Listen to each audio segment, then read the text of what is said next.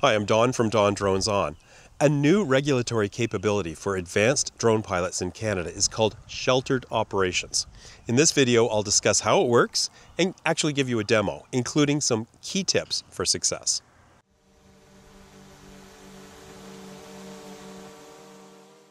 Sheltered operations is new in the 2025 Canadian RPAS regulations and is a capability available to all existing and new advanced RPAS pilots starting from November the 4th, 2025. In a nutshell, the sheltered operation rule allows you to legally fly your drones or RC aircraft over 250 grams out of visual line of sight behind a building or other structure. This could be extremely useful for real estate shots, construction analysis, or ground surveys perhaps. The 2025 Canadian Aviation Regulations includes a definition for sheltered operations and a new rule, 901.74, both of which need to be seen together to fully understand how it works. Feel free to pause the video if you want to read the actual text, or just hang in there and I'll explain it more simply.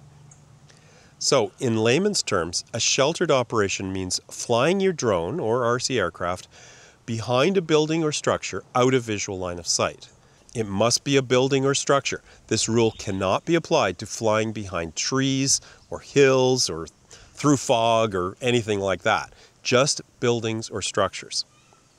When you do this, you must stay close to the structure, within 61 meters or 200 feet horizontally and 30 meters or 100 feet vertically above the structure, which in my opinion is a fairly reasonable envelope to work within. You also need to stay 30 meters or 100 feet away from any bystanders. You can do all of this up to 3.7 kilometers away.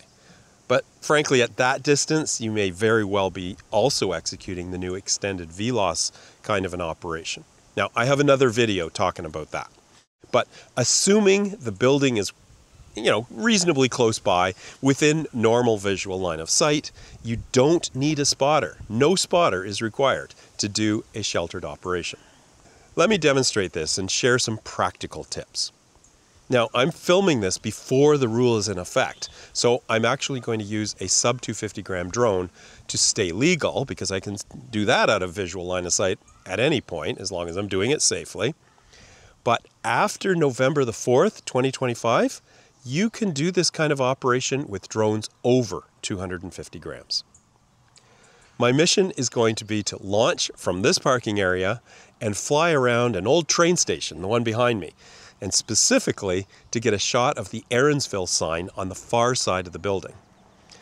Now, the first issue you'll face is figuring out where that 61 meter horizontal distance is. In Drone Pilot Canada, a really handy way to determine this is to set one of your guidance circles to 61 meters. To do this, go to the dot menu, do a long press on one of the circle items, I'll pick the smaller one, and type in 0.061 and hit the set kilometers button. Now I can tap on the train station and identify landmarks that will keep me within that 61 meters distance.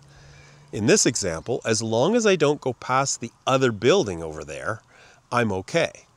The only catch is that the other building is the Lakeview Tavern, so I need to be particularly careful to watch for and avoid bystanders. Now, from an altitude perspective, it's a bit easier. I need to remain no higher than 30 meters above the building when my drone is out of sight. But how do I figure that out if I don't know how the, high the building actually is? Well, an easy way to do it is to pop your drone up, set your camera on perfectly horizontal, and then rise up until the top of the building is in the middle of your screen. Take note of your altitude, that's the height of the building, and then add 30 meters to that to determine your ceiling. Pretty easy. So, with your flight envelope in mind, I would recommend you first fly to a position, well, roughly over the building, and then use your drone to scan around for bystanders. When you're clear, do your shot as quickly and safely as possible, staying within the flight envelope, and then return home. So there you have it, sheltered operations, a new option for advanced drone pilots to legally fly out of visual line of sight around buildings or structures. If you have any comments or questions, feel free to share them below the video. Thanks for watching.